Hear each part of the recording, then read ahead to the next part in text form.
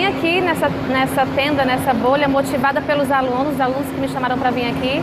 E eu achei realmente um fenômeno, né? Achei assim fantástico.